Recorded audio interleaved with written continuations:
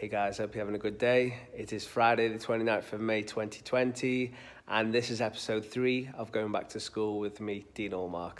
It's been about three months now since my last professional wrestling match, and every week I'm going to be bringing you back here to the All Star Wrestling School to document on how I'm coping without wrestling on a full time basis, like I've done for the last 20 years, and kind of show you how I'm preparing to get back in the ring kind of stay in ring shape, get in ring shape. It's probably get in ring shape at this point. Um, so yeah, let's get to it. But first, it wouldn't be a wrestling training session without necking one of these beforehand. Uh, this is a new flavour, I think. I've never had one of these before. So we're going to try this, see how it is. Kampai.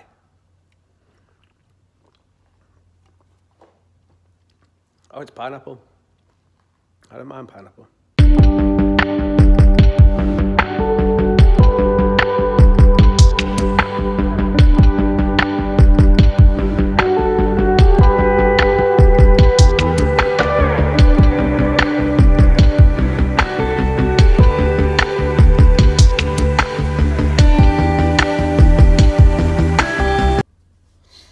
So I'm actually wearing knee pads today. Um, I haven't done for the last couple of sessions, but uh, last week I purchased a treadmill, uh, which I've been doing every day. And in the summer last year, I hurt my left knee doing a crossbody or dive across off the top rope. And when I landed, I guess I landed hard on my knee. And uh, ever since then, it's been a bit of a problem. Um,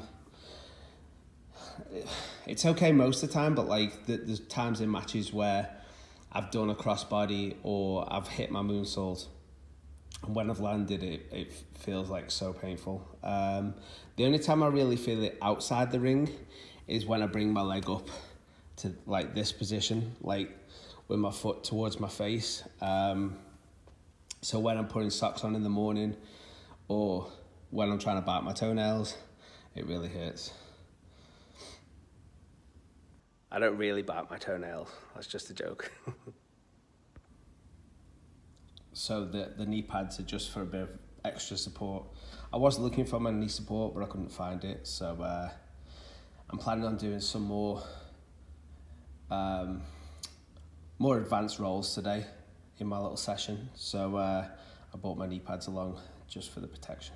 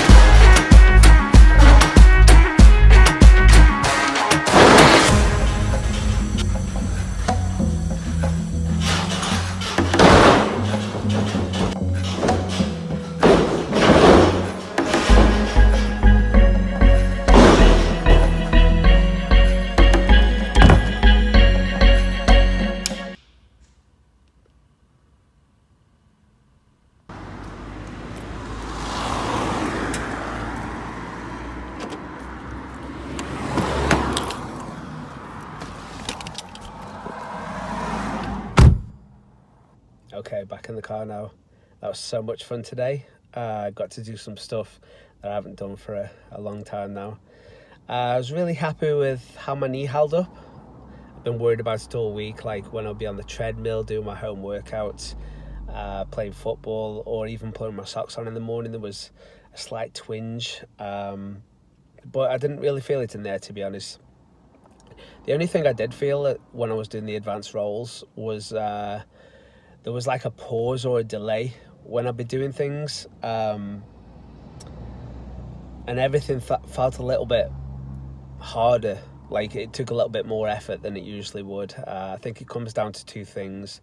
Uh, I'm definitely overweight at the minute. That's one of them, and uh, ring rust is definitely a real thing. Uh, I've always said you can do as much fitness and cardio as you want, but unless you're wrestling in a wrestling ring on a regular basis, then you're not going to be as snappy as you usually are.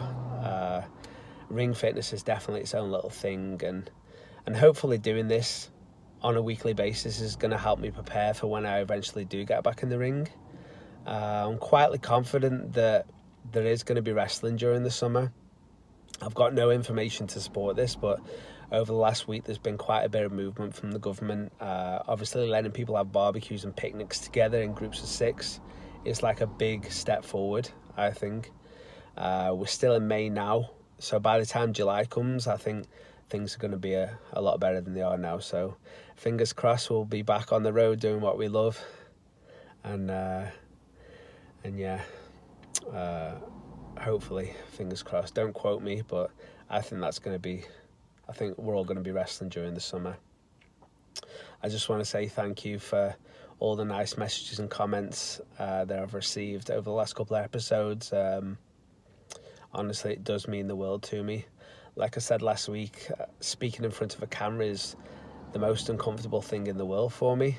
So, uh, the, all the support really means a lot.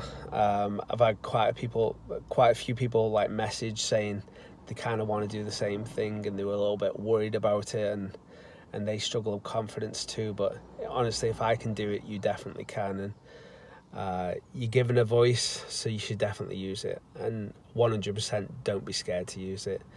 Uh, if if people can take some sort of inspiration from this then it makes me so happy. So uh, that's it for this week's episode. Uh, again if you're not subscribed or following to whatever you're watching this on, then please do that. That'd be great.